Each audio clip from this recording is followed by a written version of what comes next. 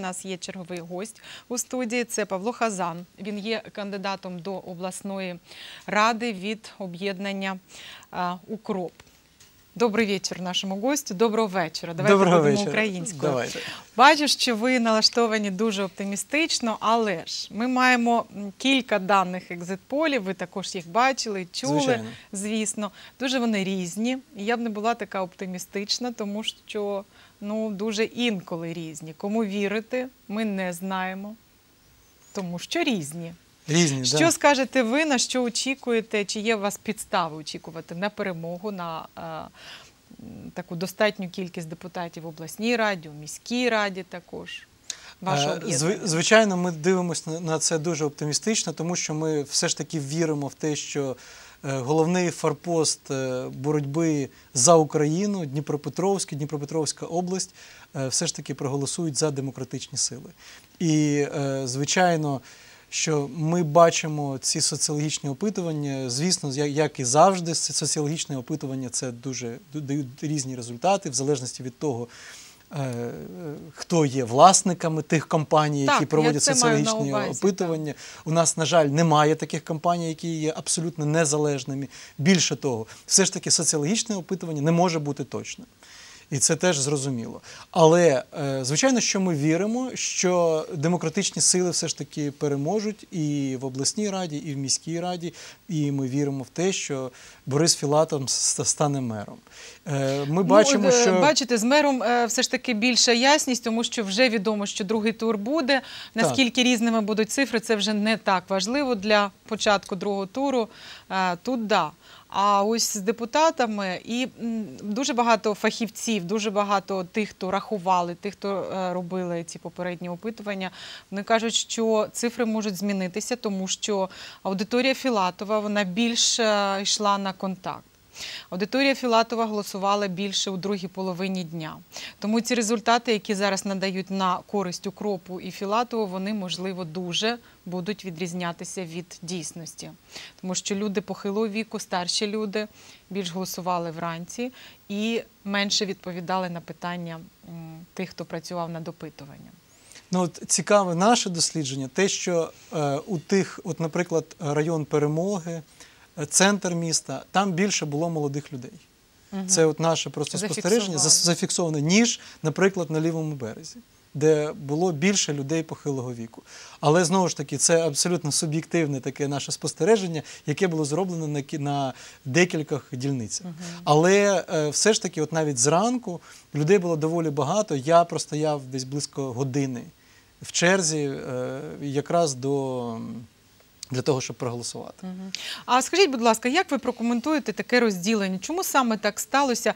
Е, Можливо, це навіть не дуже коректно так розділяти аудиторії, да, що е, одні люди ми е, за віковим цензом да, розділяємо, що вони за одного кандидата більш молодші за іншого. Чи це ну, є дуже формально? І чому, на вашу думку, так все ж таки сталося, якщо це правда?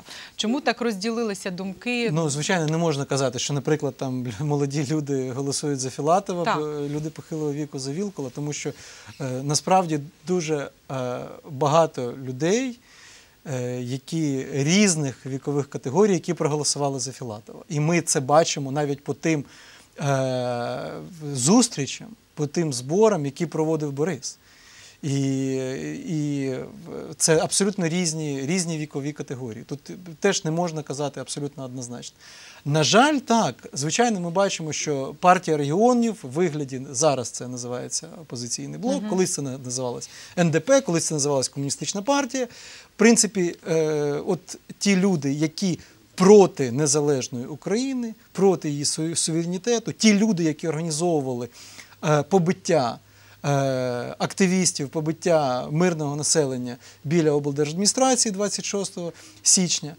Е, Ці люди дуже системно працювали і працюють е, з пенсіонерами. У них є мережа, по якій вони працюють. І, на жаль, вони використовують ті методи, які все ж таки ще поки що працюють. Ну, у нас тут було е, запитання е, трохи раніше. В нас був політолог. Він ну е, це не його тема. Да? Було запитання від глядача. Чому його адресую зараз вам? Тому що ви були учасником е, тих подій, що сталися минулого року у січні. Е, питали, де були ті люди, Вілкул, Крупський, де були під час саме цих подій, і чому. Ну, то був такий емоційний е, телефонний дзвінок, і чому так сталося, що ці люди приймають участь, беруть участь у виборах. Ну, для мене дуже дивно, е, тому що, наприклад, е, пан пана Удода ми бачили, бачили в вікнах, і він спостерігав, як е, людей е, на людей пускали слізогінний газ, як на людей пускали воду е, в 15-градусний мороз. І да, да, для нас не зрозуміло, чому ці люди не е, не покарані до- досі, чому немає кримінальних справ проти тих людей, які е, знищували демонстрантів на Майдані і в Києві, і в Дніпрі, і в інших містах. Угу. Давайте послухаємо телефонний дзвінок. Якщо є в нас, повідомляють, що є. Є у нас зв'язок. Доброго вечора. Якщо чуєте нас, будь ласка. Добрый вечер. Добрый вечер. Пожалуйста, ваш вопрос. Э, Вы знаете, у меня не столько вопрос, Не столько? ну, может, даже и вопрос, и э, уведомление студии, и э, уважаемым э, кандидатам в депутаты, и в мэры. Э, дело в том, что э, с вчерашнего вечера, с пол одиннадцатого вечера, полрабочие, так это точно, э, как бы лишены информационной, какая-то информационная блокада. Телевизоры ни у кого не работают. Вот я, допустим, я чуть помоложе, я смотрю вас там через интернет, и мне приятно вот э, смотреть вашу передачу, мнение вы слушаете каждое.